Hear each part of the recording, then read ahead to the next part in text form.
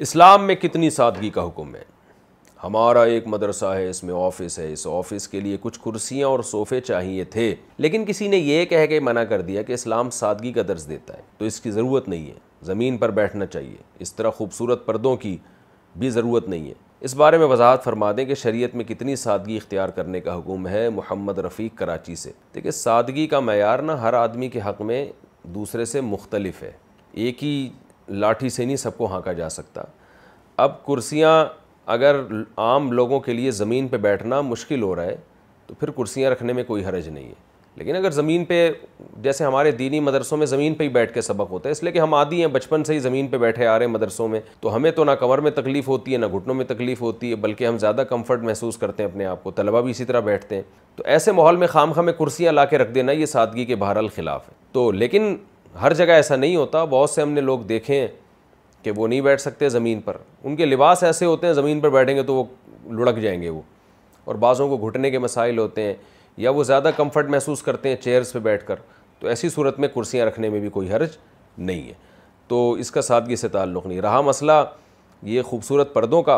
तो देखें, मिजाज नबूत तो यही है कि आप सल्लल्लाहु अलैहि वसल्लम ने दीवारों पे चादरें, चादरों को पसंद नहीं किया। सादगी की तलकीन दी है। ये आप सल्लल्लाहु अलैहि वसल्लम का मिजाज है, लेकिन ये कोई इस्लाम का फ़र्ज़ वाजिब हुक्म नहीं है। बाज़ दफ़ा ये होता है कि अगर आप डेकोरेट करते हैं घर को, एक तो डेकोरेशन वो होती है ना जो बहुत ही घर को पूरा चमक छल्लो बना देते हैं लोग। ये तो बहरल सादगी के ख़िलाफ़ है। एक डेकोरेशन ये होती है कि आप अपने कमरे में बैठें तो आपको एक सुकून मिले, इतना कम अज़ कम मुजैन हो। तो अगरचे इसमें सादगी नहीं है लेकिन इसके दूसरे फ़ायदे बहुत हो रहे हैं। आपका वहाँ दिल लगेगा, आप स्टडी कर सकोगे। जैसे हमने बहुत से उलमा को देखा है कि वो जो स्टडी रूम है, उनका वो बहुत डेकोरेट करते हैं उसको। ताकि उस कमरे में जब जाएँ तो उनको एक सुकून मिले और किताब का मुताला कर सकें। तो ये एक, यानी एक, इसमें एक अलग मसलहत है।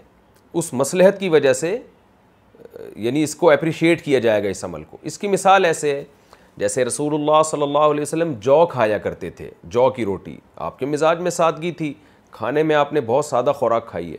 तो उसूली तौर पर तो भाई जौ की रोटी खानी चाहिए। और आप सल्लल्लाहु अलैहि वसल्लम ने बहुत सादा गज़ाएँ खाई हैं। उसूली तौर पर तो ये लेकिन अगर आप इस उसूल पर आज अमल करते हो तो उससे बड़े बड़े उसूल टूट रहे होते हैं, क्योंकि हम लोग कमज़ोर लोग हैं।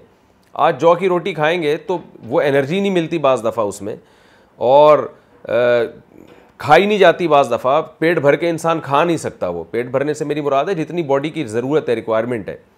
तो उसका नुकसान क्या होगा कि आप जो दूसरे अहम तरीन काम हैं, जो शरीयत में इससे भी ज़्यादा अहम है, वो डिस्टर्ब होना शुरू हो जाएँगे। जैसे नफली रोज़ा, नबी सल्लल्लाहु अलैहि वसल्लम बाज़ दफ़ा रोज़े रखते तो अम्मी आशा फरमाती हैं, ऐसे रखना शुरू करते, हमें लगता कि आप कभी रोज़ा छोड़ेंगे ही नहीं, ज़िंदगी भर रखते रहेंगे। बाज़ दफ़ा इतनी कसरत से रोज़े रखते थे, सुन्नत अमल है।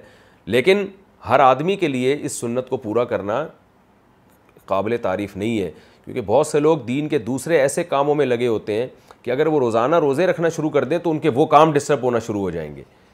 तो क्योंकि नबी सल्लल्लाहु अलैहि वसल्लम की तरह हर एक नहीं है। अल्लाह ने आप सल्लल्लाहु अलैहि वसल्लम को जो क़ुव्वत दी थी तो और जो आप सल्लल्लाहु अलैहि वसल्लम को सलाहियतें दी थी एज़ ए बशर भी वो सलाहियतें आज बहुत से लोगों में नहीं है। तो मैंने बाज़ को देखा है, वो महदूद नफली रोज़े रखते हैं, पाबंदी से नहीं रखते। कि कंटिन्यू रखना शुरू कर दें। उनसे जब कहा जाए कि भाई आप रोज़े कसरत से क्यों नहीं रखते तो कहते हैं हम जो दीन के दूसरे अहम काम कर रहे हैं, उनमें रुकावट बनेगी, बनेगा ये अमल कि वो काम फिर हमसे नहीं हो सकेगा, जो इससे भी ज़्यादा अहम है।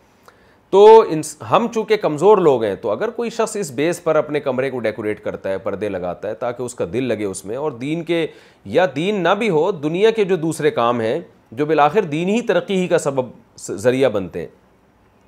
जैसे आप अगर सहूलत से ऑफ़िस पहुँचेंगे आप गाड़ी, आप बजाय रक्षे के आप कार में जाएँगे, आप सहूलत से पहुँचेंगे तो ज़ाहिर है वहाँ जाके आप ज़्यादा अच्छा काम कर सकेंगे। आप कराची में आप देखें ना डब्ल्यू ग्यारह में जो बेचारा लटक के ऑफ़िस जा रहा है तो आधी एनर्जी तो उसकी इधर ही खर्च हो जाती है। वहाँ जाके वो काम करने के काबिल क्या रहेगा? कोई टीचर स्कूल में, यूनिवर्सिटी में पढ़ा रहा है तो वो बेचारा किस वहाँ काबिल नहीं रहेगा पढ़ाने के, वो अपनी सलाहियतें उसकी इन्हीं में लग जाएँगी। तो इसी तरह अगर कोई डेकोरेट करता है अपने घर को, अपने कमरे को बहुत ज़्यादा डेकोरेशन जो बिल्कुल ही छिछोर बने में आ जाए, वो तो एक अलग बात है। लेकिन उसको ज़रा सलीक़े, सफ़ाई से और ख़ूबसूरत पर्दे लगा देता है उसमें। और उसकी नीयत ये कि मेरा इसमें दिल लगेगा और मैं दिमागी काम अच्छी तरह कर सकता हूँ, दिमाग को मुझे सुकून मिलेगा तो इसमें कोई हरज नहीं है। तो ये सादगी किसी दूसरे मसलहत के लिए क़ुरबान की जा रही है। बहरहाल किसी के मिजाज में सादगी हो और उसको अहम कामों में नुकसान भी ना हो रहा हो तो बहरहाल ये ज़्यादा शरीयत में पसंदीदा है ये।